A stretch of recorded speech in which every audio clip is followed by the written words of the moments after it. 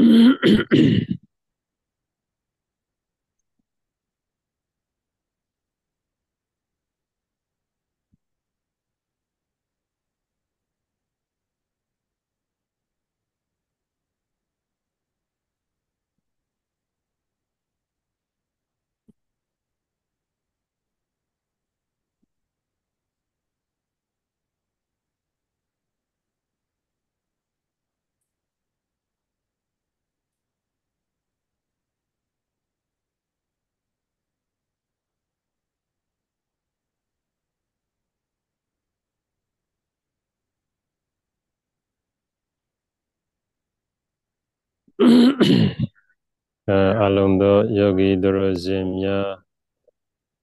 ပရိသတ်ဆုံးလင်ပြီဆိုရင်ဘုံဘုံတို့နမောတတဖြင့်မြတ်စွာဘုရားရှင်အားရှိခောကစတင်ကြမယ်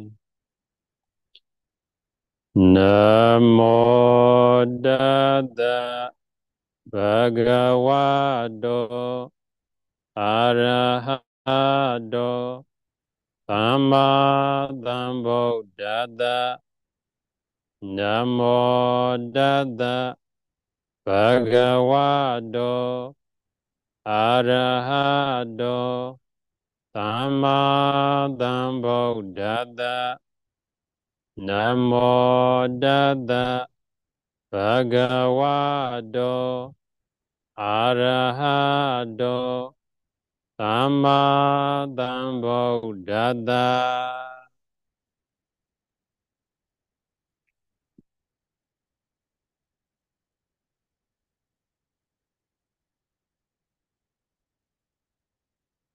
မြတ်စွာဘုရားရှင်အာရှိခိုးကြုပြီးတဲ့အခါမှာမိမိတို့သက်တောင့်သက်သာထိုင်ပြီးတော့တရားလေတရားဓမ္မကိုအာယုံစိတ်ကြပါမယ်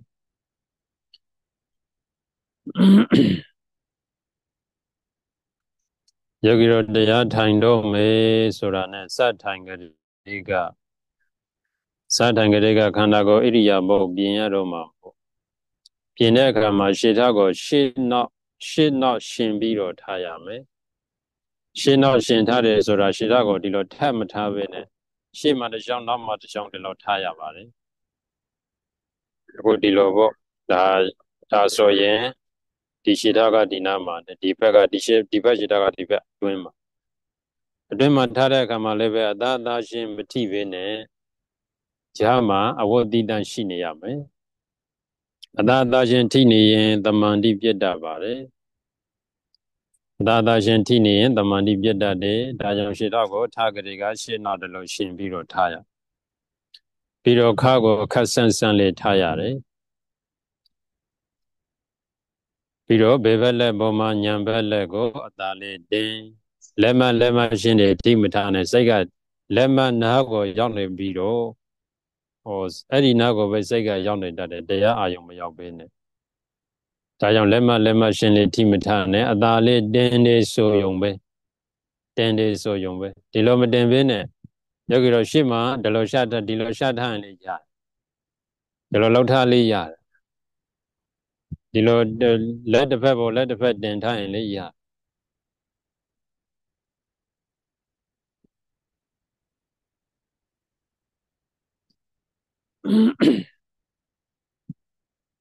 တော်တော်စံတော့မြေလုံးမပိုက်ပါနဲ့အောင်မြေလုံးဒီတိုင်းဖွင့်ပြီးတော့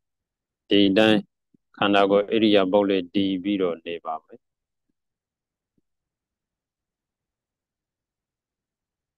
ပြီးတော့တင်ပလင်ခွေပြီးပြီဆိုတာနဲ့ဟောဒီတင်ပလင်ဒီခန္ဓာကိုယ်ကြီးကိုလုံးဝမေ့လိုက်ရဂယုကိုမစိတ်နဲ့တော့အာနာပါနပဲအာထောက်အာထောက်ဝိပဿနာပဲအာထောက်အာထောက် ကိုအားထုတ်ရမယ်ကမ္မထံအာယုံကိုအာယုံတစ်ခုကိုပဲတရားအာယုံစိတ်ခန္ဓာကိုယ်ကြီးကိုဂယုမစိတ်နဲ့တော့ဟောနာကဟောလိုဖြစ်နေသလားဒီနာကဒီလိုဖြစ်နေသလားလို့လေလိုက်မတွေးနဲ့သူဟာသူဖြစ်ချင်တာဖြစ်တော့ဆိုပြီးတော့ဂယုမစိတ်နဲ့တော့နာနာတုံတုံဘာပဲဖြစ်ဖြစ်စိတ်သေးမှန်ကိုခန္ဓာကြီးဆိုတာဟောဂယုမစိတ်နဲ့တော့သတိမထားနဲ့ လုံးဝမေ့မေ့ရိုးရိုးမေ့မေ့ပျောက်ပျောက်ကိုထားလိုက်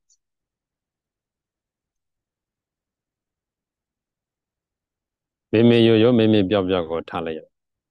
ဒီလိုမျက်လုံးမှိုက်ဒီလိုထိုင်ပြီးမျက်လုံးမှိုက်ထားပေမဲ့နောက်တစ်ချက်ကယောဂီတို့စိတ်ကဟောရောက်ဒီရောက်မကျေနပ်တာတရောကျေနပ်တာတရောတခါတည်းအားလုံးဟိုစိတ်ထဲဝင်လာလိမ့်မယ် အဲ့ဒီမှာအတွေးမှန်တော့မှနှစ်မျိုးလောက်ရှိသေးတယ်မကျေနပ်တဲ့အတွေးမကျေနပ်လို့ထိုင်တွေးတာတချို့ကဘာရေမောဟိုနာစိုက်ရောက်လိုက်ဒီနာစိုက်ရောက်လိုက်အဲ့ဒီလိုရှိဒါပြင်မကျေနပ်တဲ့အတွေးတွေလောဘဒေါသကြောင့်ပေါ့တခုခုကြောင့်အထူးသဖြင့်ဒေါသကြောင့်မကြိုက်မကျေနပ်လို့သူ့ရဲ့အကြောင်းပဲစိတ်ထဲရောက်နေတယ်ဆိုရင်အဲ့ဒါကိုလေနှလုံးသားထဲကတခါတည်းအပိတိုင်ထောက် အပိတိုင်ထောက်နားလေမှုခွင့်လွှတ်မှုနဲ့တခါတည်းအပိတိုင်စိတ်ထဲကနေထောက်နှလုံးသားထဲကထောက်ဓမ္မမဟုတ်လေကိုဝါအောင်ရှူသွင်းရှူတော့ခပ်ပြင်းပြင်းရှူရမယ်သူကြတော့ဖြည်းဖြည်းလေးမရတော့ခပ်ပြင်းပြင်းပဲလေကိုရှူသွင်းရှူတော့လို့ရှူသွင်းရှူတော့လို့နှခေါင်းဖြတ်မှတရားအာယုံဆိုင်ပြီးတော့လို့အဲဒါမှမဟုတ်ဘလို့မှမရဘူးဆိုရင်ဂုံတော်တွေထိုင်ပြီးတော့နှုတ်ကနေဂုံတော်တွေပွား မြေလုံးမှိုက်ပထားတဲ့အဲ့ဒီပုဂ္ဂိုလ်ကြတော့အတွေးများတဲ့ပုဂ္ဂိုလ်ကမြေလုံးမှိုက်လို့မရဘူးမြေလုံးမှိုက်ရင်ပေါ်ဆိုးတယ်ဒါကြောင့်မြေလုံးကိုဖွင့်ထားရမယ်ကိုကိုရဲ့ဇယိတ်ရှင်တွေကိုကြည့်ပြီးတော့ကိုကုဇန်းတတ်ရမယ်နော်အဲ့ဒီတော့မှတရားရမဟုတ်ရင်ယောဂီတော့တရားမရဘူးဒီလိုဖြစ်လာရင်ဘလို့ကုစားမလဲဆိုတော့အဖြေမှန်ကိုမှရှိနေရ အဲ့ဒီပုဂ္ဂိုလ်ကမြေလုံးကိုပိတ်ထားလို့မရဘူးမြေလုံးကိုဖွင့်ထားရမယ်ဖွင့်ပြီးတော့ဝင်လေထွက်လေရှူမယ်ဆိုလေရှူဂုံတော်ထိုင်ပွားမယ်ဆိုလေပွားမေတ္တာပို့မယ်ဆိုလေပို့ပေါ့ဒါမှမကိုယ့်ရဲ့ကမ္မထံအာယုံကိုပဲတေချာနှလုံးသွင်းမယ်ဆိုလေသွင်းဩယခုလိုနှလုံးသားအထင်းမှာထည့်သွင်းပြီးတော့တွေးခေါ်နေခြင်းသည်နှလုံးသားထဲမှာထည့်သွင်းပြီးတော့တွေးခေါ်နေခြင်းသည်ကိုယ့်အတွက်လေဘာအကျိုးမှမရှိ သူတို့ဘာအတွက်လေဘာအကျိုးမှမရှိပါရောလားလို့အဲ့ဒီလိုတွေးရတွေးပြီးတော့ကိုယ့်ရဲ့နှလုံးသားထဲကတခါတဲ့အလုံးကိုထုတ်ချလိုက်အလုံးကိုထုတ်လိုက်မကြည်နတာတွေပါတယ်အဲ့ဒါကလေတသက်လုံးမဖြစ်ပါဘူးခဏပြေပြောက်သွားအဖြေမှမတွေ့သေးခင် မကြည်နခြင်းမကြိုက်ခြင်းဆိုတာဖြစ်နေတာယောဂီတော်ဘုံဘုံတော်ဟောမွေးကလေးကမကျေနပ်တဲ့အကျင့်ပေါင်းမနေဘူး နောက်ဆုံးတော့လေပြေပြောက်သွားတာပဲဘာဖြစ်လို့ပြေပြောက်သွားတော့စဉ်းစားကြည့်လားအဖြေမှန်တွေ့သွားလို့ယခုလည်းပဲအရှိန်တန်ရင်တွေ့မှဘာမှဘူးမနေနဲ့ယခုလောလောဆယ်မတွေ့သေးတာပေါ့အဖြေမှန်ကိုတွေ့သွားတဲ့အခါကျတော့ဘာမှဒါကြီးကပူလောင်စရာလည်းမရှိဘူးမကျေနပ်စရာလည်းမရှိဘူးဒေါသဖြစ်စရာလည်းမရှိဘူးကိုယ့်ရဲ့စိတ်နဲ့ကိုအမျိုးမျိုးလောက်ပြီးတော့မှ ပူလောင်နေခြင်းသာဖြစ်တယ်ဆိုတဲ့ဒီအဖြေပဲရတာပဲတေးသေးလေးကအကြီးကြီးလောက်ပြီးတော့ပူလောင်နေတာသုတ်တန်တက်ကိုသွားတဲ့လူတို့ပေါ့တန်ရှင်နာကဖြတ်သွားတဲ့လူလိုပဲတန်ရှင်နာကဖြတ်သွားတဲ့လူကအဲ့ဒီတန်ရှင်မှာရှိတဲ့အုတ်ကူဖြူဖြူလေးကိုတရေကြီးဖြူဖြူထိုင်နေတယ်ထင်ပြီးတော့ပြေးတာလေပြေးလို့သူလေးလို့တခုခုဖြစ်သွားရင်တရေချောက်တယ်လို့တရေကိုမကောင်းစကားပြောအောင်ပါတ ရေကိုအတင်းတုံအောင်ပါတကယ်တော့တရေကြတရေချောက်လို့မဟုတ်ဘူးသူ့ဟာသူအောက်ကူတွေးလို့ပြေးတာဘယ်သူမှအပြစ်မရှိဘူးကိုယ့်အပြစ်နဲ့ကိုပဲယခုလည်းပဲယောဂီတော်စိတ်ဆိုတာအမျိုးမျိုးအမျိုးမျိုးတယောက်တည်းပြုပြင်းနေဖန်ဆင်းနေဟောက်မသိမဟောက်မသိကိုယ်အတွေးနဲ့ကိုအမျိုးမျိုးကိုလိုချင်တယ်လို့တွေးပြီးတော့စိတ်တဲ့နှလုံးသားထဲမှာခံစားနေတာမသူကိုပြောပြလို့မှမျက်နှာစာမျက်နှာသာရစရာအကြောင်းမရှိဘ သူကမှပြောပြလို့မျက်နှာမျက်နှာသာရစရာအကြောင်းမရှိဘူးဒါကြောင့်ယောဂီတို့ဘာလို့ရမလဲဆိုတော့အဲ့ဒီလိုမကျေနပ်ခြင်းတွေနှလုံးသားထဲမှာရှိနေရင်ရှင်းရှင်းထောက်လိုက်မကျေနပ်ခြင်းတွေနှလုံးသားရှိရင်ရှင်းရှင်းထောက်ဟောတွေးဒီတွေးတွေးနေတဲ့ပုံကကြတော့ဩငါရဲ့စိတ်ကမဟုတ်တာတွေလုံနေပါရောလား ဘာတွေများလုံနေတာပါလဲအကျိုးမရှိတာတွေလုံနေပါရောလားယခုတရားထိုင်ခြင်းတွေဆိုပြီးတော့တရားစခန်းရောက်နေပြီဝိပဿနာတရားကျင့်သုံးခြင်းတွေဆိုပြီးတော့ဝိပဿနာတရားကျင့်သုံးဖို့ဓမ္မယုံတဲ့တော့ရောက်နေပြီဒီကောရောက်တော့မှငါရဲ့စိတ်ကဟောတွေးဒီတွေးတွေးနေပါရောလားအတော့ကိုပဲအကျိုးမရှိတဲ့အရှင်းဒီဖြစ်တဲ့အလုတ်တွေလုံနေပါရောလားလို့ကိုယ့်ကိုယ်ကိုနှလုံးသွင်း အဲ့လိုနှလုံးသွင်းလို့လည်းမရရင်စာတိမှတော့အဲ့ဒါဂုံတော်တွေပါတယ်ပွားလိုက်တဲ့အဲ့လိုပါဘုရားဂုံတော်တွေပွားလိုက်ဓမ္မမောမိမိတို့ပွားနေကြဂုံတော်တစ်ပါးပါးကိုပွားလိုက်ပွားလိုက်ရင်ဘာဖြစ်လာမလဲဘုရားအပေါ်မှာကြီးညိုတဲ့စိတ်ကလေးတွေဖြစ်လာမယ်အဲတမန်ကြီးလေးရလာမယ်ရလာမယ်ဆိုတော့တရားကိုဖြောင်းဖြောင်းအားထုတ်လို့ရလာမယ်ပေါ့ဒါကစိတ်ထွက်နေရင်ယောဂီတော်ကုစားရမယ်နီလန်း ကုစားရမယ်နီလန်းဘုံတော်ကိုပေးထားတဲ့သမထဝိပဿနာမှတ်စုအကျဉ်းအဲဒုတိယစာမျက်နှာပေါ့ဒုတိယစာမျက်နှာမှာလေးပါပါတယ်နောက်ပြီးတော့ယောဂီတို့နာကျင်ကြိုက်ခေးလာတဲ့အခါမှာယခုတော့ဒါတရားစမှတ်ခါစဆိုတော့နည်းနည်းကြိုတင်ပြီးတော့နည်းနည်းပြောထားမလို့နာကျင်ကြိုက်ခဲလာတဲ့အခါမှာယောဂီတော့ခန္ဓာကိုယ်ကြီးကဒီလိုတောင့်တင်းပြီးတော့မထားရအောင်နာကျင်လာဒီလို ပခုံးကျိုးတွေကြွတ်တက်လာတာလက်တကောလည်းအတင်းပထမဒီလိုအဲ့ဒါကဒီလိုအတင်းညှစ်ကုတ်ထားတတ်တယ်ဒီလိုပေါင်ကျိုးနှစ်ဖက်ကိုလည်းဒီလိုတောင့်ထားတတ်အဲ့ဒါဆိုတော့ဘာဖြစ်လဲတရားထိုင်ပြီးရင်အရင်ညောင်းတာတရားထိုင်ပြီးရင်ညှစ်ထားလို့တောင့်ထားလို့တင်းထားလို့ဟောတာအရင်ညောင်းတယ်ဆိုတာဖြစ်တယ်ပေါင်ကျိုးတွေတင်းတယ်ဆိုတာဖြစ်တယ်နော်အန်နေတောင်ကြိတ်ထားတတ်တယ်မသိမပြောကြတော့တတိထားလို့ရအောင်လို့ဒီ ဒီဒီပါဇက်ဒီဒီနာအန်နေကြိတ်ထားတတ်တယ်ပခုံးကျိုးကျိုးတွေတောင့်ထားတတ်တယ်ကြွတ်တက်လာတတ်တယ်ဟောဒီကပေါင်ကျိုးတွေတောင့်တင်းထားတတ်တယ်အဲ့ဒီသုံးနေရာတတိထားလိုက်သုံးနေရာတတိထားလိုက်အယံဝေဒနာတက်လာပြီဆိုရင်ကိုယ့်ကိုယ်ကိုဘာလှုပ်လို့လှုပ်ထမ်းမှမသိတော့ဒါကြောင့်အဲ့အဲ့ဒီသုံးနေရာကိုသတိထားပြီးတော့မလောက်ဖြစ်အောင်သတိထားရမယ်ပေါ့စိတ်ကလေးကိုရှော့ချရမယ်အာမရှိသလိုနေရမယ် အာမရှိသလိုနေဆိုပြီးတော့တခါတည်းခွေပြီးတော့ကြာသွားဖို့လည်းမဟုတ်လေကိုခတ်ပြင်းပြင်း3 4 5 6လောက်၄ပေါင်ရှူသွင်းရှူတော့လောက်လိုက်ဘာဖြစ်လို့နှလုံးအိမ်ကလည်းညှစ်ကုတ်ထားတတ်တယ်တောင့်ထားတတ်တယ်အသက်ရှူဖို့တော့မေ့နေဒါကြောင့်လေကို3 4 5 6လောက်ရှူသွင်းရှူတော့လောက်ယောဂီတို့ကပေးထားတဲ့ဇာရွယ်ထိမှလေးပါပါတယ်လေကော3 4 5 6ရှုသွင်းရှုတော့လောက်လောက်ပြီးတော့မှဘာလို့မလဲဆိုတော့ ဟိုဓမ္မကိုပဲအဓိကရှာဖွေရမယ်ဓမ္မကိုပဲနားလည်အောင်လုပ်ရမယ်အဲ့ဒီတော့မှယောဂီတို့ဒါကိုကျော်လွှမ်းနိုင်မယ်ပေါ့မှန်ကန်တဲ့သမ္မာတတိသမ္မာသင်္ကပ္ပနဲ့ကျော်လွှမ်းနိုင်ယခုနာကျင်နေတာဘယ်သူလဲဆိုတော့တရားခံရှာဖွေရနာကျင်နေတာဘယ်သူပါလဲနာကျင်နေတာဘယ်သူရှိမလို့စဉ်းစားကြည့်ယခုသင်ထားတဲ့ဓမ္မအရာဆိုရင်ဒါဟောပထဝီဆိုတဲ့မြေဓာတ်ကနာရာထုံတာ နာရာထုံတာကျန်းတန်းတာတွေဖြစ်နေတာ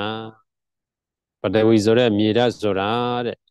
လက်နဲ့ကန်ကြည့်ရင်မာခြင်းပြုတ်ခြင်းသဘောတွေ့နိုင်တယ်အဲ့ဒါပထဝီဓာတ်ရဲ့လက္ခဏာပဲတဲ့မကြည့်ရင်လေးတာပိုးတာတွေ့နိုင်တယ်အဲ့ဒါပထဝီဓာတ်ရဲ့လက္ခဏာပဲတဲ့ပို့ကြည့်ရင်ကျန်းတာလျှော့တာတွေ့နိုင်တယ်တဲ့အဲ့ဒါပထဝီဓာတ်ရဲ့လက္ခဏာပဲတဲ့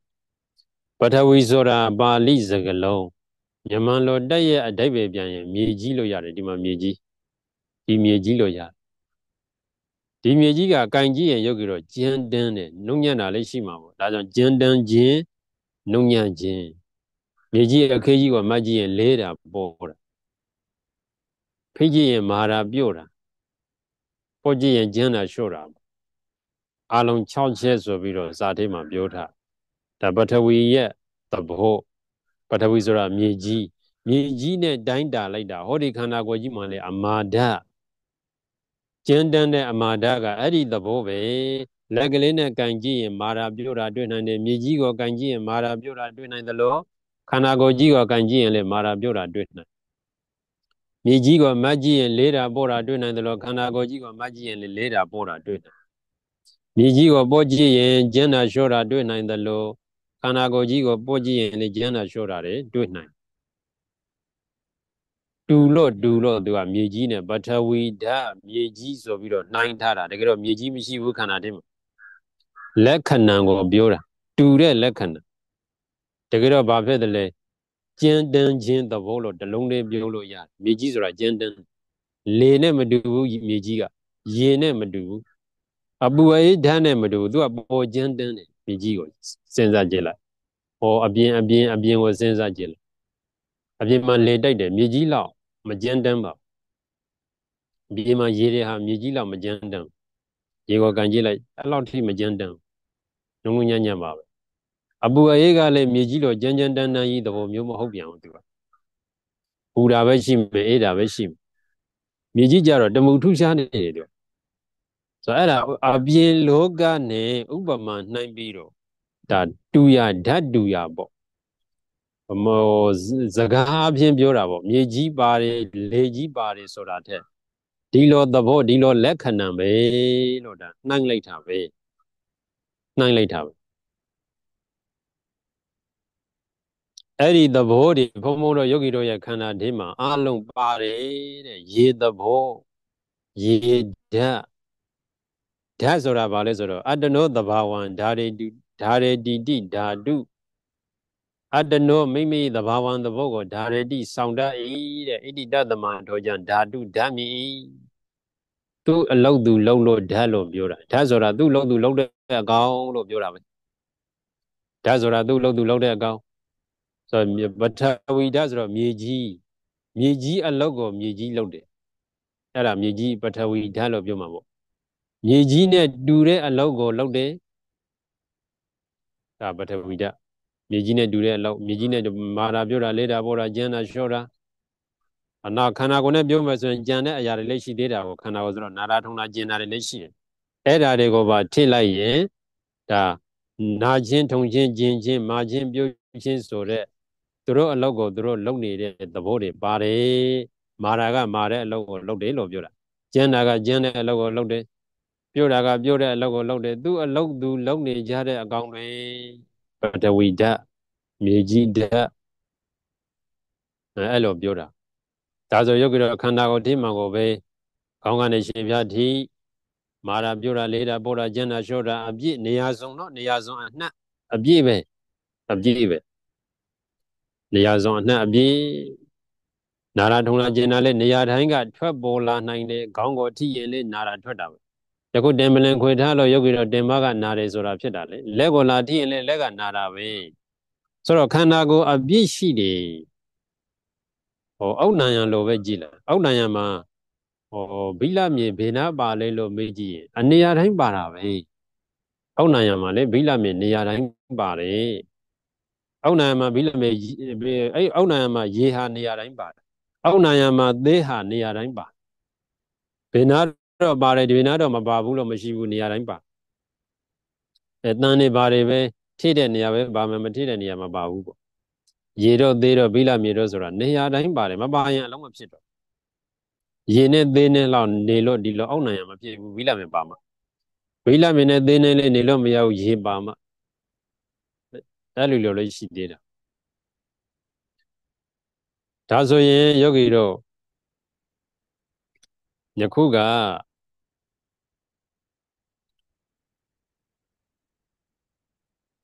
ယောဂီတော်ရဲ့ခန္ဓာဒီမှာအဲ့ဒီသဘောတွေအားလုံးရှိနေတယ်တဲ့မနဲ့မိုးလင်းကလေးကမနဲ့မိုးလင်းကလေးကဒါညာအရာဝင်တဲ့ဒီအဲ့ဒီသဘောတွေပဲထွက်နေတာပဲမနဲ့မိုးလင်းကလေးကညာအရာဝင်တဲ့ဒီအဲ့ဒါကြီးပဲထွက်နေတာဘလို့နေတယ်ဒီလိုထိုင်နေရင်ဘာထွက်လဲကြည့်လိုက်ရှည်လက်ပေါင်လူမထွက်ဘဲနဲ့နာရာကြီးထွက်နေတယ်ပူရာကြီးထွက်နေတယ်အေးရာကြီးထွက်နေတယ်ထုံကျင်ကြိုက်ခဲတာတွေထွက်နေတယ် အဲ့ဓာတွေပဲထွက်နေတာဘာဖြစ်လို့ထွက်နေတာတော့အဲ့ဒီပစ္စည်းတွေနဲ့လှုပ်ထားလို့အဲ့ဒီပစ္စည်းတွေနဲ့လိုက်တော့လှုပ်ထားလို့အောက်နာရကိုဒူနဲ့ဒူးလိုက်ရင်ကွန်ကရစ်ခေးတွေထွက်မှာပေါ့ဘာဖြစ်လို့ကွန်ကရစ်ခေးတွေသေးတွေပါလို့လေပါတာထွက်တယ်ဆိုတဲ့သဘောရှိတာထွက်တယ်ဆိုတဲ့သဘောရှိတာထွက်တယ်မရှိတာမထွက်ဘူးတဲ့ရှိတာထွက်တယ်မရှိတာမထွက်ဘူး တေချာလေးတွေးကြည့်လိုက်မျက်လုံးမှားပြီးတော့မေးမနေနဲ့ဘာမှမထူးယောဂရောတေချာလေးတွေးကြည့်နှလုံးသွင်းကြည့်သူကဝိပဿနာဆိုတာပြောရရင်တွေးရတဲ့အမျိုးတမ္မာဒိဋ္ဌိတမ္မာသင်္ကပ္ပတဲ့မှန်ကန်သောအမြင်မှန်ကန်သောအတွေးကြမှန်ကန်သောအမြင်ထဲမှာမှန်ကန်မှန်မှန်ကန်ကန်တွေးရမှာဆိုတာလေးပါတယ်တမ္မာဒိဋ္ဌိရဖွင့်မှလေတွေးပါလို့လည်းပါတယ်တမ္မာသင်္ကပ္ပကတော့ဒါတွေးပါဆိုတော့တည့်ရစကလုံးဆိုတော့တွေးနေရမှာ ဘလို့မဟုတ်တာပြောတာမဟုတ်ဘူးပေါ့မဟုတ်တာတွေတော့မတွေးရရုပ်အကြောင်းနာအကြောင်းအနိစ္စအကြောင်းဒုက္ခအကြောင်းအနတ္တအကြောင်းတွေးနေရနားလေနားလေထုံလေထုံလေအော်မနေနဲ့ဘာမှမထူးတသက်လူမွေးကလေးကနာတာကိုနာတယ်လို့သိတယ်ထုံတာကိုထုံတယ်လို့သိတယ်အိုမယ်ဆိုရင်အိုနီးရှိသေးတယ်ဒီတန်းအရင်ကြီးနာတယ်နာတယ်နာတယ်လို့အိုလို့မရဘူးမှတ်မစနာတယ်နာတယ်နာတယ်သုံးချက်အိုအ နာတယ်ဆိုနာတာဘသူလဲဆိုတော့ဩဒါကြီးကနာတာကဒါကယုတ်နာဒါကဒါကယုတ်တာကနန္တရားဒါဆိုနာတာအပေါ်မှာတတိကတယ်တတိကပြီးတော့ဟောဒါတတိဟိုတမန်တိဖြစ်သွားတာပေါ့အဲတမန်တိဖြစ်ပြီးတဲ့နောက်မှာဒါပညာလိုက်ရမယ်ပညာကဩဒါကြီးကယုတ်တရားဒါကနန္တရားဒါကြီးကလည်းရှင်နာဘလို့ပြည့်တယ်အိဋ္ဌဒုက္ခနန္ဒစသည်ဖြင့်ဒီလိုရှုရ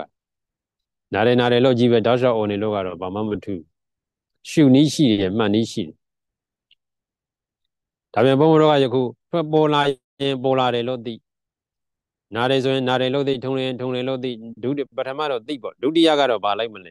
ဒုတိယကတော့ညံလိုက်မယ်တတိကသိယုံပဲသူကသူ့မှာညံမပါဘူးတတိကသိယုံပဲညံမပါဘူးအဲအဲ့ဒီရဲ့နောက်မှမှဘာပါလာမလဲဆိုတော့ပြေညံလိုက်မှပေါ့ပြေညံလိုက်ရဒါဆိုရင်ယုတ်ပြီးတော့ခန္ဓာကိုယ်တစ်ခုလုံးကိုကြည့်လိုက်ရင်မျက်စိနားတွေတော့မပါသေးဘူး အခုဒီခန္ဓာကိုယ်အတုံးခဲကြီးပေါ့ဒီအတုံးခဲကြီးဒီအတုံးခဲကြီးဘာထွက်လဲလို့အာယုံစိုက်ကြည့်လိုက်ရင်ပူရာတွေတွေ့နိုင်တယ်အေးတာပူတာတွေ့နိုင်တယ်နာကျင်ကြိုက်ခဲတာတွေ့နိုင်တယ်လေးလံထိုင်းမိုင်းတဲ့သဘောတွေ့နိုင်တယ်ဒီလိုယောဂီတို့မျိုးလုံးနဲ့မှိုင်းပြီးတော့မှေးပြီးတော့လေအဲအဲ့ဒါလေးလံနေတာဗျအဲ့ဒါလေးလံနေတာဆိုတော့ဘယ်သူလဲလို့မေးရင်အဲ့ဒါပထဝီဆိုတဲ့မြေဓာတ်အဲ့ဒါပထဝီဆိုတဲ့မြေဓာတ်လေးလံပြီးတော့ဖြစ် တတွေးထွက်မယ်ရွှေထွက်မယ်အဲ့ဒါအာဘောဆိုတဲ့ရေရေကယိုစီးတယ်ရေဆိုတဲ့အမျိုးကယိုစီးတဲ့သဘောသဘောရှိတယ်ကိုယ့်ရဲ့အရာစကားနဲ့သုံးရတော့ရွှေထွက်တယ်တတွေးထွက်တယ်ပေါ့ဒါပေမဲ့တကယ်ကတော့အဲ့ဒါယိုစီးတာပဲတဲ့အဲ့ဒါယိုစီးနေတာဒါပြင်ယုတ်တော့ခန္ဓာတိမှာအဲ့ဒီသဘောတွေပဲထိုင်ထွက်နေအဲ့ဒါတွေယုတ်ပြီးတော့ယခုပေးထားတဲ့သမထဥပဒနာမှတ်စုအကျဉ်းမှလည်းရေးထားပါတယ်ယုတ်ပြီးတော့အဲ့ဒါကိုလည်းဖတ်ရပါမယ် အဲဒီပထမဇာမျက်နှာတစ်မျက်နှာနှစ်မျက်နှာနှစ်မျက်နှာသုံးမျက်နှာအတွင်းလောက်မှာအဲ့ဒီဇာတွေပါတယ်အဲ့ဒီဇာကိုပါသေချာဖတ်ပါဖတ်ရဖို့ဖတ်ရပါမယ်ဖတ်ကိုဖတ်ရမယ်အရေးကြီးပါတယ်ယခုဘုန်းတော်ပြောလိုက်တာကစကားဆိုတာမြန်နေလေအဲနှစ်ခါထားကြရင်လည်းမှတ်မိခြင်းမှမှတ်မိမယ်သုံးခါထားကြရင်လည်းမှတ်မိခြင်းမှမှတ်မိမယ်ဘာဖြစ်လို့လဲဆိုတော့အရာတစ်မှာအမြဲတမ်းကြားနေအရာတစ်မှာအမြဲတမ်းကြားနေတဲ့စကားလုံးမဟုတ်ဘူးလေ ဆိုပါဆိုဘုမို့တော့စေပညာနဲ့ပတ်သက်တဲ့စကားလုံးတွေကငါးခါထပ်ပြောဘယ်လိုလုပ်နားလိမ့်မှာသူစကားလုံးတွေကအရှည်ကြီးတွေဘာမှမသိဘူးစေကျင်ပြောလေသဘောမပေါက်အဲ့ဒီလိုပဲကိုကြားနေကြစကားလုံးမဟုတ်ဘူးကိုနဲ့ရင်းနှီးတဲ့စကားလုံးမဟုတ်ဘူးမဟုတ်တဲ့အတွက်ကြောင့်မမှတ်မိနိုင်ဘူးဒါကြောင့်ယုတ်ကိတော့စာရွက်ပေးတာစာရွက်ပေးတယ်အဲ့ဒီစာရွက်ကိုသေချာလေးဖတ်ကြည့်ယခုတော့ယခုဆိုတော့အစပိုင်းဆိုတော့ အာအစက3လေးရွက်လောက်ဖတ်လိုက်ရင်ဟိုပဲတော်တော်သဘောပေါက်ပါအတတ်နိုင်ဆုံးတော့ရှင်းအောင်တော့ရေးထားတယ်ရှင်ယုတ်ကြီးတော့တော့ရှင်းမရှင်းမသိဘူးဘုံဘုံကတော့ရှင်းနေတာကိုရေးတာမို့လို့ထင်အဲတတ်နိုင်ဆုံးတော့ရှင်းအောင်ရေးထားတယ်အဲတကယ်လို့ယုတ်ကြီးတော့ကဟိုဒီဒီလိုရေးတာတော့မရှင်းဘူးဘလို့ရေးရင်ပေါ်ရှင်းတယ်မရဆိုရင်လည်းပဲအဲနောက်ဆုံးနေ့မေးခွန်းမေးတဲ့အခါမှာအဲ့ဒါတွေပြောလို့ရတယ်အကျဉ်ပေးလို့ရတယ်ညခုလေးပဲဒါယုတ်ကြီးတော့ဟိုတယူတရား ဟိုလူကပေးလိုက်ဒီလူကပေးလိုက်ပေးလိုက်ပေးလိုက်နေအဲဒါဒီလိုစာရွက်တွေပါတယ်ညာနေဖြစ်လာတာဘဒုတရားရအိန္ဒိယမဟုတ်အများဝိုင်းဝန်းပြီးတော့ဘလို့လောက်ရင်တော့ဘလို့နားလေတယ်ဘုံဘုံတော့ကိုယ်တိုင်ကလည်းမေးပါရင်းနေတဲ့ဒကာကြီးဒကာမကြီးများပေါ့ဒကာကြီးဒကာမကြီးတော့ဘုံဘုံတရားပြတာနားလေလားဘာလို့လဲဘလို့ပြရင်ပေါ်ကောင်းမလဲအဲသူတို့ကိုယ်တိုင်ဒီတရားနားလေလာတဲ့အခါကျတော့အရှင်မြတ်ဘလို့ပြောရင်တော့ပေါ်နားလေတယ် တပည့်တော်ကတော့ဘလို့ပြောလိုက်တော့ဘလို့ပေါ်နားလေသွားတယ်အေးဟုတ်တယ်ဒါဆိုရင်အဲ့ဒီစကားလုံးကတော့ထစ်ထစ်ပြောမယ်အဲ့လိုပုံစံမျိုးထစ်ထစ်ပြောမယ်ဆိုတာကြီးဖြစ်သွားဒါကြောင့်အားလုံးနားလေဖို့အတွက်ဒုတိယနဲ့လည်းမပြီးဘူးအဲ့လိုယောဂီတော့အကြံဉာဏ်လေးလိုတယ်ဒါကြောင့်ယောဂီတို့လည်းအကြံဉာဏ်ပေးဖို့အတွက်ဖတ်ကြည့်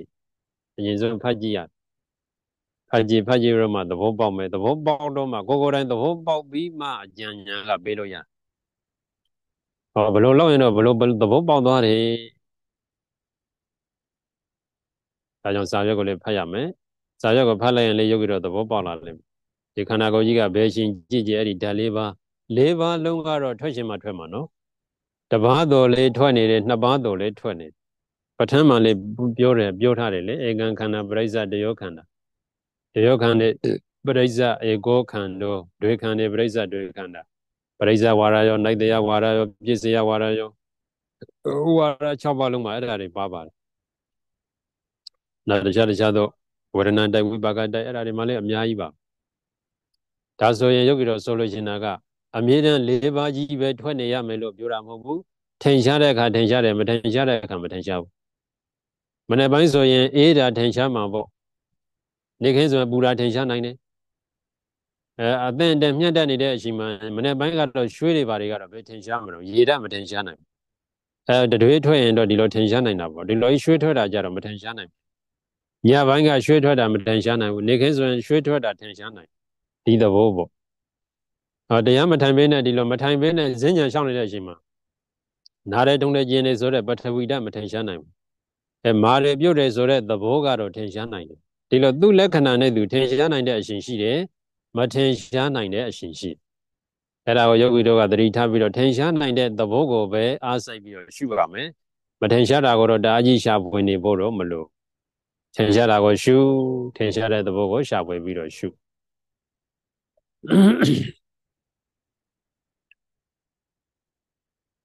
ဒါဆိုရင်ဒါဆိုရင်ယောဂီတို့ထိုင်လို့ဖြစ်စေသွားရင်လာရင်ဖြစ်စေ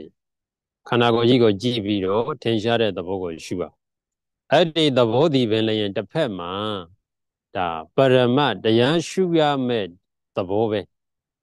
ယောဂီတော့ကြားဘူးလိမ့်မယ်ပညာကိုတရားမရှုရပညာတိန်တစ်ဖက်တော့ပညာကိုပေပြီးတော့တဲ့အာယုတ်နံကိုအနိစ္စတိဝတေနအနိစ္စဒုက္ခအနတ္တ အနတ္တလောအနိစ္စတိဝတေနအနိစ္စအစရှိသည်ဖြင့်ဝိပဿတိရှုပါတဲ့အတူတူပြပြရှုပါတဲ့အဲအဲ့ဒါကိုဝိပဿနာလို့ခေါ်ပါတယ်တဲ့ပညာကိုပေရမယ်ဆိုတော့ပညာကိုပေဆိုတော့ဘာပြောတာတော့ဘယ်နှသွားပေရမှာတော့ပရမတ်ဆိုတာဘလို့မြင်ရမလဲဘလို့ရှာဖွေရမလဲလို့မေးစရာရှိပညာဆိုတာယောဂီတို့ပညာမပြတ်ကပရမတ်ဆိုတာယခုခန္ဓာကိုယ်ထိတ်ကနာရထုံနာကျင်နာပူတာအေးတာ ယုတ်စီတာတွန်းကန်တာအဲ့ဒါပရမတ်ရဲ့သဘောလက္ခဏာပရမတ်ကိုသိနိုင်ကြောင်းသဘောလက္ခဏာပူတာအဲ့ဒါဒီပရမတ်တော့မဟုတ်သေးဘူးဒါပေမဲ့ပရမတ်ကိုသိနိုင်ကြောင်းသဘောလက္ခဏာနာရထုံနာကျင်နာရွှေထွက်တာဒါကိုယ်စကားအနေနဲ့ပြောတော့ရွှေထွက်တာပေါ့ပူတာအေးတာပေါ့ဒါကိုဒါကပရမတ်ကိုသိကြောင်းလက္ခဏာလက္ခဏာဆိုတော့သိကြောင်းဘာသူကိုသိရမလဲဩဒီဓာတ်ဒီသဘောရှိတယ် ဒီလိုကျဉ်းတန်းတဲ့သဘောကလေးရှိပါရောလားပရမတ်မှာတော့စကလုံးပြောလို့မရပါမယ်တူရတူရနှိုင်းတာပေါ့တီချောင်းလက္ခဏာအနေနဲ့နှိုင်းလိုက်တာပေါ့ခန္ဓာကိုယ်ကြီးကရုပ်ပြီးတော့ဟိုစိတ်ခနဲ့အေးခနဲ့ဖြစ်သွားရင်ဒါလေလို့သိတယ်လေလေကြီးကဘယ်သူမှမမြင်ရဘူးလေလေကြီးကိုယ်ခန္ဓာကိုယ်ကလေမထိဘူးဆိုရင်လေကြီးဒီလိုသွားနေတာမမြင်ရဘူးတစ်ပင်နဲ့လှောက်မှာဩလေရှိပါလားလို့သိတာလေ တစ်ပင်လှောက်တာဒီလေမဟုတ်ဘူးယောဂရစဉ်းစားကြည့်တာခန္ဓာကိုယ်အေးခနဲ့ဖြစ်သွားတယ်စိတ်ခနဲ့ဖြစ်သွားတယ်ယောဂလေအပြင်ကလေတိုက်တော့ခန္ဓာကိုယ်အေးတာစိတ်နာကလေမဟုတ်ဘူးလေကလေဒါမှခန္ဓာကိုယ်အေးတာစိတ်နာဒီလက္ခဏာမှန်ကြောင်းလက္ခဏာတစ်ပင်ကြီးအရွယ်လှောက်သွားခြင်းဒီလေမဟုတ်ဘူးတစ်ပင်အရွယ်လှောက်တာကတစ်ပင်တစ်ပင်ပဲဒါမဲ့အဲ့ဒါကိုကြည့်ပြီးတော့လေကတွန်းပါရောလားလို့သိလိုက်ရတာအဲ့ဒီလိုပဲယခုလေးပဲ ဟောဒါမှတ်ကြောင်းလက္ခဏာတဲ့မှတ်ကြောင်းလက္ခဏာနာရထုံနာကျင်နာကိုကြည့်ပြီးတော့ဩဒါဒါသည်ပထဝီဆိုတဲ့မြေတန်းရဲ့သဘောပါရောလားပထမတော့အကျဉ်းဖြင့်ပဲသိမှာပေါ့နာရထုံနာကျင်နာကိုပထဝီပထဝီလို့မှမှန်ရင်မှန်ရင်နဲ့ယောဂီတော့သေချာလေးမြင်လာလိမ့်ပထမတော့လောလောဆယ်တော့အဲ့တော့အသေးစိတ်ဒီတေပြောနေရင်လည်းသဘောပေါက်မှာမဟုတ် ဒါကြောင့်ယောဂီတော့ဒီတိုင်းပထမအရှင်တွေကိုကြည့်လိုက်နားတယ်တုံးတယ်မာတယ်ပြုတ်တယ်လမ်းချလို့မာတယ်ပြုတ်တယ်ဆိုရင်လည်းဒါဩပတဝီဆိုတဲ့မြေဓာတ်သဘောပါရောလားဟောကျင်ဒါတွေဟာကျင်းတန်းနေခြင်းသဘောပါရောလားတလုံးတွေမှတ်ရင်တော့နာရထုံတာကျင်တာပြုတ်မာတာပြုတ်တာလဲတာပို့တာအလုံးကိုကျင်းတန်းတယ်လို့ခေါ်တယ်ရွှေထွက်တာရွှေထွက်တာတော့တွေထွက်တာတော့ကြတော့ယောစည်းခြင်းသဘောပါရောလားဒါစာရွက်ထင်မှလည်းပါတယ်ယောစည်းခြင်းသဘောပါရောလား ပူရအေးတယ်ဆိုရင်လည်းပဲယဉ်ကျေးခြင်းသဘောပါရောလားပူအေးခြင်းသဘောပါရောလားအသက်ရှူတယ်ဖောင်းပိန်ဖြစ်တယ်ဆိုရင်လည်းပဲတွန်းကန်တဲ့သဘောပါရောလားဩကြည်စံခန္ဓာကိုယ်ကြီးဒီမှာ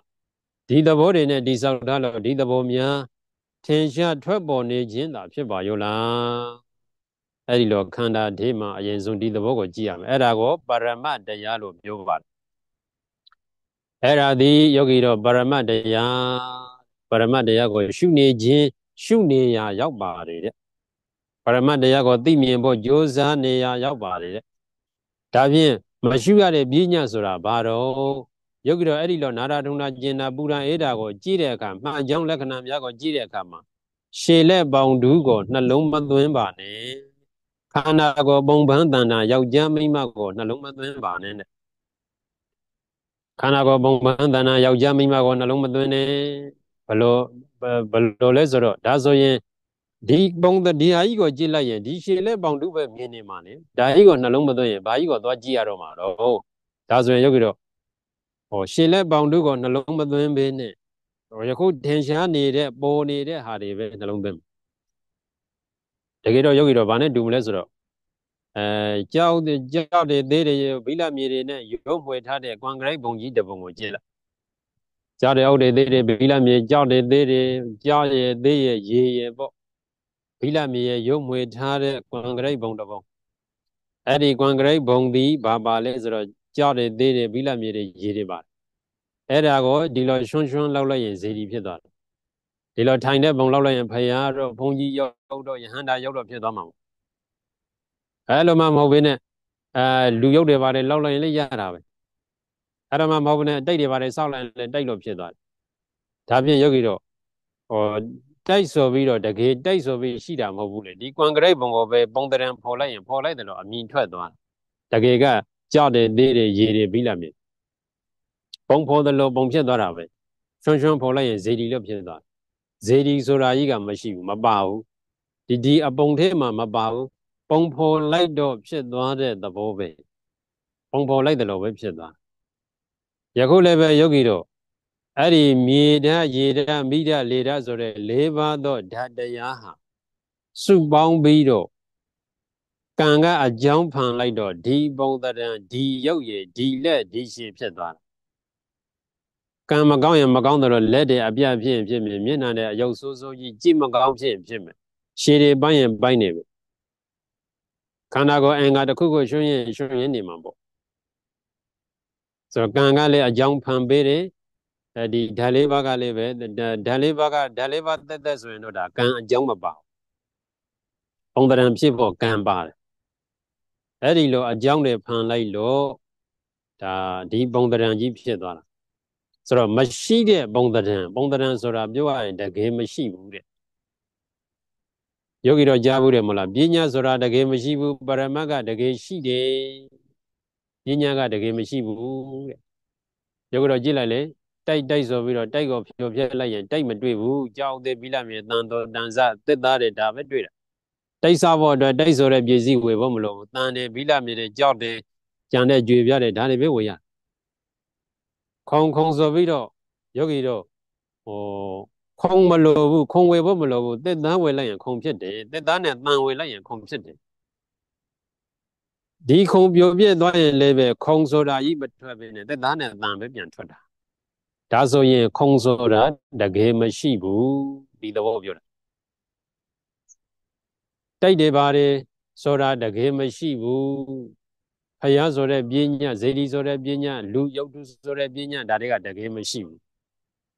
ဒီပုံတရံတွေတကယ်မရှိဘူးပုံတရံတကယ်မရှိဘူးဖယားမရှိဘူးပြောတာမဟုတ်ဘူးနော် ဒီပုံပန်းတရံဥပမာနှိုင်းပြဆိုတော့လောက်ပါဝင်တဲ့ပစ္စည်းလေဒီမှာဖယားကဘာနဲ့လောက်ထားလဲကွန်ကရိုက်နဲ့လောက်ထားတာလေကွန်ကရိုက်ကတကယ်ရှိတယ်ပုံပန်းတဏ္ဍာဆိုတာပုံဖော်လိုက်လို့ဖြစ်သွားတယ်ဇေဒီဆိုတာ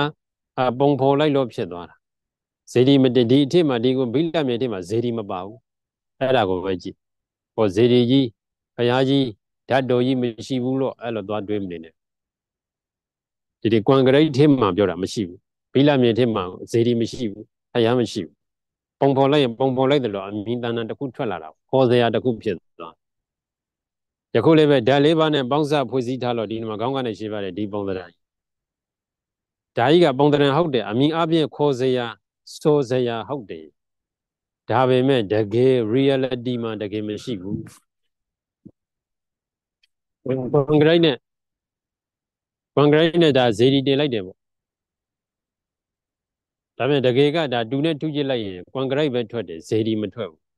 ဒီသဘောယခုလည်းပဲကျန်းတန်းတဲ့သဘောတွန်းကန်တဲ့သဘောရေသဘောအပူအရေးသဘောဒါတွေပဲတွေ့တယ်ဒါတွေပဲထွက်တယ်တဲ့အဲ့ဒါကိုပဲတရားရှုရမယ်အဲ့ဒါဒီပရမတ်တရားပရမတ်ရဲ့ပရမတ်ကိုသိဖို့အတွက်ယောဂီတို့ဟောရှိဥလက္ခဏာပဲဆိုပါတော့ အဲ့ဒီလက္ခဏာကပဲဖမ်းရမှာဟောပရမတ်လို့ပဲဆိုဆိုပရမတ်ကိုသိဖို့ရှိဥလက္ခဏာလို့ပဲပြောပြောအဲ့ဒါပဲအဲ့ဒါကိုကြည့်ရမယ်အဲ့ဒါကိုကြည့်ရင်ပရမတ်ကိုမြင်မယ်အဲ့ဒါကိုမကြည့်နိုင်ရင်ပရမတ်ကိုမမြင်ဘူးဒါကြောင့်အဲ့ဒါကိုကြည့်တဲ့အခါမှာရှည်လက်ပေါင်တူမပါစေနဲ့တွေ့ကြည့်တဲ့အခါမှာတော့လောလောဆယ်တော့နည်းနည်းမြင်နေမှာပေါ့ဒါပေမဲ့သူကဂယုမစိတ်နဲ့မြင်ပါစေဂယုမစိတ်နဲ့ဘလောက်ပဲပေါ်ပေါ်ဘာပဲဖြစ်ဖြစ်ဂယုမစိတ်နဲ့ကြာရင်မေ့တာပါပဲ ကြာရင်မေ့တာယောဂီတော့ယောဂီတော့တိုက်ကိုကြည့်တဲ့အခါကွန်ကရစ်ဘုံကြီးတော့ဘယ်သူမြင်တော့တကယ်ကကွန်ကရစ်ဘုံကြီးလေမမြင်ပါဘူးတိုက်ကတိုက်ကြီးကဘလို့လှလိုက်တာဘာဖြစ်လိုက်တာဒီလိုပဲမြင်တာပဲဒီလိုပဲမြင်တာပဲမြင်လို့ရရသေးတာယခုလည်းပဲယောဂီတော့ခန္ဓာကိုယ်ကြီးကိုကြည့်တဲ့အခါပေါင်းတရံရှင်လက်ပေါင်းတူး ဆိုတဲ့အဆွေးတသက်လုံးမှတ်လာတဲ့ဒီအဆွေးကြီးကိုဂယုမစိတ်နှလုံးမသွင်းပေးနဲ့ဂယုမစိတ်နှလုံးမသွင်းပေးနဲ့ဘာလို့မလဲဆိုတော့ဩဒီသင်ခန္ဓာတွေကထင်ရှားနေတဲ့သဘာဝတရားတော်ကိုပဲကြည့်ပြီးတော့ဒီသဘောနဲ့တိစောက်ထားလို့ဒီသဘောထွက်နေပါရောလားလို့လို့စေအဲ့ဒါကိုပဲကြည့်အနိစ္စလည်းမရှိနဲ့ဒုက္ခလည်းမရှိနဲ့အာဒီမှာတတိယတော့ယောဂီတော့တရားရှုတဲ့ကဘုံဘုတော့ဒီကပေးတဲ့အတိုင်းပဲရှုပါမယ် အာဟောလိုလိုဒီလိုလိုအနိစ္စလိုလိုရုပ်လိုလိုနန်းလိုလိုမလောက်ပါနဲ့ဟောအရှိန်တန်ရင်ရောက်လာလိမ့်မယ်အရှိန်တန်ရင်စားရလိမ့်မယ်ဘာမှအပူမနေနဲ့ကလေးတွေလိုပေါ့အရှိန်တန်ရောက်လာလိမ့်မယ်ဒီကဖြူဖြူကိုကြည့်ဆိုဖြူဖြူကိုပဲကြည့်အဲမင်းမင်းနဲ့ဖြူဖြူနှစ်ခုရှိတယ်အဲအဲ့ဒီမှာယောဂီဖြူဖြူကိုကြည့်လိုက်ပါဆိုဖြူဖြူကိုပဲကြည့်မင်းမင်းလေးမြင်နေဗျာနှစ်ခုမြင်နေဗျာမလားနဲ့တစ်ခုပဲမြင်ဆိုတစ်ခုပဲမြင်လိုက်ဘေးကဟာတွေမြင်လည်းမကြည့်နဲ့ ဘာလို့လဲအကြောင်းရှိလို့အရှင်တန်ရရောက်လာလိမ့်မယ်အဲ့ဒါကိုတော့ယောဂီတော့လိုက်နိုင်ရမယ်ဒီကပြောတဲ့အတိုင်းတိတိကျကျရှုရင်ဒီကပြောတဲ့တရားလမ်းကြောင်းတော့ရောက်မယ်ဒီကပြောတဲ့တရားလမ်းကြောင်းတော့ရောက်ရင်ယောဂီတော့ဘယ်အရင်ကဝင်ထားတဲ့တရားတွေအာလုံးတန်ဖို့ရှိမှန်းသိလာလိမ့်မယ်ဘယ်တရားမှပေးစရာမလိုဘူး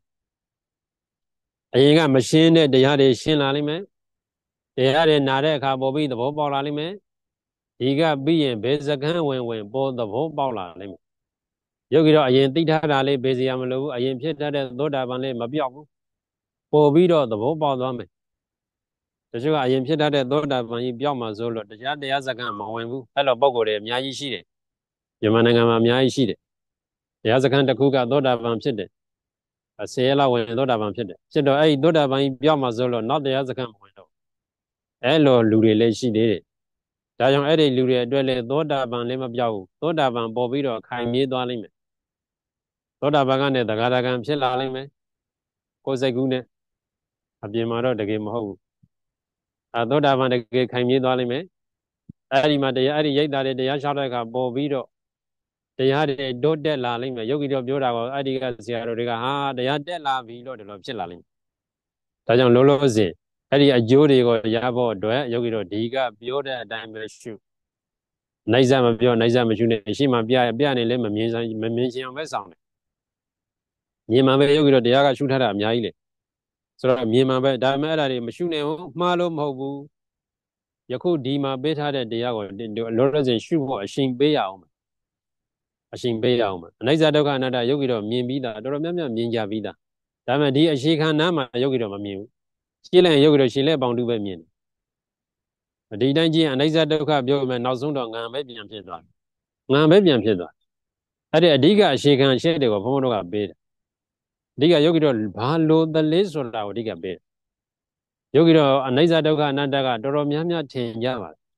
ဘေစခန်းသွားသွားဒီတရားတွေဟောကြတော့အကုန်ထင်တယ်ဒါပေမဲ့မထင်တာကယောဂီတော့ဒီခန္ဓာကြီးဒီခန္ဓာကိုယ်ကြီးကိုယောဂီတော့မဖြောက်နိုင် ယောဂီတော့မဖြောင်းနိုင်ဘူးဖြောက်တတ်တဲ့ပညာယောဂီတော့မရှိဘူးမရှိတော့အမုံမွားမြင်အောင်လုပ်တာအမုံမွားမြင်အောင်ကြိုးစားတယ်အမုံမွားမြင်အောင်ကြိုးစားတော့အဲ့ဒီမှာပြဿနာတက်တာပဲအမုံမွားမြင်အောင်ကြိုးစားတယ်လေဒါကြောင့်ယောဂီတော့အမှုံမွားလေးမမြင်တဲ့ဒီကပြောတဲ့အတိုင်းပဲသေချာအားထုတ်ပါမယ်အဲ့ဒါကိုတော့ယောဂီတော့အထူးတိုက်တွန်းတယ်ဆိုတော့ဟိုယခုကတော့လောလောဆယ်ရှုဖို့ကဒီခန္ဓာကိုယ်ကြီးကို ကျဉ်တန်းတဲ့သဘောရေသဘောလေသဘောအပူအေးသဘောဆိုတဲ့၄ပါးနဲ့တိဆောက်ထားတယ်အဲ့ဒါကြောင့်ဒါတွေထွက်နေတယ်လို့အတတ်နဲ့ဆုံးမြင်အောင်ကြည့်ခြေလက်ပေါင်းတို့ကအတတ်နဲ့ဆုံးမေ့အဲအဲ့ဒါကိုပဲသွားမယ်ဒီကလောလောဆယ်ဒီသဘောတွေကသူ့အလုပ်သူလုပ်နေတယ်ပူတဲ့အကောင်ကပူတဲ့အလုပ်ကိုလုပ်တယ်အေးတဲ့အကောင်ကအေးတဲ့အလုပ်ကိုလုပ်တယ်နာကျင်တဲ့အကောင်ကနာကျင်တဲ့အလုပ်ကိုလုပ်တယ်သူ့အလုပ်သူလုပ်နေကြတယ် သူ့အလုပ်သူလုပ်နေကြတယ်သူသူဟာသူဖောက်ပြန်နေကြတယ်ဖြစ်ပေါ်နေကြတယ်ပေါ့အဲအဲ့ဒီလိုယောဂီတော့သေချာလေးကြည့်ပါမယ်အဲ့ဒီလိုသေချာလေးကြည့်မယ်နောက်ပြီးတော့ယောဂီတော့တရားရှုတဲ့အခါမှာလေတရားရှုတဲ့အခါမှာဒီတရားကိုတရားကိုဟောတရားကိုတော့စောင့်ရှောက်ရတယ်ရိုးရိုးသေးသေးရှုဆိုတာဒီတရားကိုမပြည့်စည်အောင်စောင့်ရှောက်ရတယ်ယောဂီတော့ယခုသိသွားတဲ့အတိကလေးပေါ့ဆိုပါတော့ ဟောဒါကြီးကဟောမြေရည်ကြီးလေဆိုတော့ဓာလေးပါးနဲ့ဒီစောင့်ထားပါရောလားလို့ဆိုတော့သိထားတဲ့အတိကလေးကိုတခါတဲ့အမြန်တနိုးဟောအမြန်တနိုးဒီတော့လက်ပေါ်မှာတေးပြီးတော့ဟောအမြန်တနိုးသွားနေတယ်လို့လောက်ဟောမိမရွရွနေလိုက်ရင်ဒါကြီးကပျောက်သွားမှဆိုလို့ဆိုတဲ့ပုံစံမျိုးဖြစ်ရမြတ်မြတ်နိုးနိုးအမြဲတမ်းဒါကြီးကိုကြည့်နေရတယ်ဒါကြီးကိုပွားနေရတယ်ဒါကြီးကိုဂယုစိုက်နေရတယ် ဒီငါဟာကြီးပျောက်သွားမှပြည့်သွားမှဆိုလို့ပြည့်သွားမှဆိုလို့ပြည့်သွားမှဆိုလို့ဟောပျောက်တပြည့်တတ်တဲ့ဗရမ ्या ဒုံကြီးတစ်လုံးကိုရထားတယ်လို့ပေါ့ဟောကိုကဆိုပါစို့လူတယောက်ကကိုကိုဗရမ ्या ဒုံကြီးတစ်လုံးပေးလိုက်မယ်အဲမင်းဒီဗရမ ्या ဒုံကြီးကိုဆောင်းသွားမင်းလိုရာအကုန်ပြည့်ပြီဒါပေမဲ့ဒီဗရမ ्या ဒုံကြီးကိုမင်းရဲ့စိတ်ထဲမှာအမြဲတမ်းရှိနေရမင်း9မိနစ်လောက်ဗရမ ्या ဒုံကြီးကိုမေ့သွားတာနဲ့ဗရမ ्या ဒုံကြီးကအော်တော့ပြောက်သွား ရောမင်းဒီပရမကြီးကိုဆောင်မင်းညံရှိတယ်လို့သုံးလောရအကုန်တောင်းတရပြီဒါပေမဲ့9မိနစ်မေ့သွားရင်ဒီပရမကျုံဒုံကြီးအလိုလိုပြောင်းသွားမယ်လို့လူတယောက်ကပေးလိုက်ရင်ယောဂီတော့ဘယ်လိုလုပ်မလို့အဲ့ဒီပရမဒုံကြီးကအမြဲတမ်းလုပ်နေမှာသမင်းစားလက်ရှိကရှာထားမှာမမေ့အောင်လို့အင်သာတက်လက်သေးရှာရှိကရှာထားမှာလက်နဲ့အမြဲတမ်းပေါ့နေမှာအဲအဲ့ဒီလိုအဲ့ဒီလိုလုပ်ရတယ်တရားက အဲ့ဒီလိုလောက်ရင်ဘုရားကဘာပြောလဲမဟာသတိပဋ္ဌာန်သုံးမှာအာမခန္ဓာရှိတယ်6ရက်ခဏရက်ရပြီးတဲ့တရား6ရက်ခဏရက်အနှစ်လ3လဘာညာပြောထားတယ်အဲ့လောက်ပဲအများကြီးတော့မပြောထားဘူးယောဂီတော့9ရက်စကန်များတော့များနေပြီ9ရက်စကန်10ရက်စကန်မလို့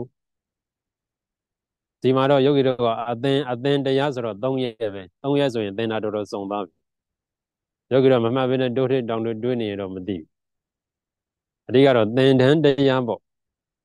သင်တန်းတရားသင်တန်းတရားဆိုတော့အဓိကဘာလုပ်ရမလဲ3ရက်အတွင်းလေးယောဂီတို့တရားတွေးနိုင်တယ်3ရက်ဆိုရင်တော်တော်ပြည့်စုံနေပြီနောက်ဆို2ရက်လောက်ပဲဖွင့်မယ်3ရက်နည်းနည်းများတယ်ဆိုတော့အဲ့ဒီတရားကိုတေချာလေး9မိနစ်လောက်မမေ့ဖေးနဲ့ယောဂီတို့ဆောင်းထား9မိနစ်လောက်ကိုမမေ့ဘဲနဲ့ဆောင်းအမြဲတမ်းယခုစင်ကြံပဲမှန်မှန်အင်သာပဲတဲ့ဘုရားကပြောထားတယ်လေ။ဘာလဲဟော အင်သာတဲ့လေကျင်ကြီးကျင်ငယ်စွန့်လေမှတ်ပါတဲ့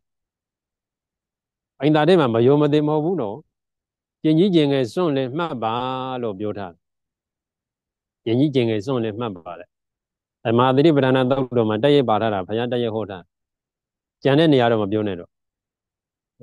ဒီသင်္ကန်းတွေရမ်းတဲ့အခါသင်္ကန်းယုံတဲ့အခါသဘိုက်ကင်တဲ့အခါဘုရားကအကုန်ပြောထားတာဘုံမလို့ဘုံမလို့လိုက်မလောက်တာပဲရှိတယ် သဘိုက်ကင်တဲ့အခါသင်္ကန်းဝတ်တဲ့အခါကျင်ကြီးကျင်ငယ်စွန်းတဲ့အခါအေးရှင်သားတော်မှတ်ကြဘယ်သူမှနားမထောင်ဘုံမလို့လည်းနားမထောင်အတင်မဘုရားဆိုပြီးဒီတိုင်းပဲဒီတိုင်းပဲဆိုတော့ယောဂီတော့၃ရက်အတွင်းကတော့မလုပ်မလဲဗရမတုံးကြီးက9မိနစ်မေးလို့မရသလိုအမြဲတမ်းနှလုံးသွင်းပြီးတော့ဆောင်ထားရမယ်လို့ပြောလို့ရင်းနဲ့ဒီတရားဓမ္မကိုဏီကုံကံပါအဆုံးသပါသည်ယောဂီအပေါင်းတော်ကောင်းတော်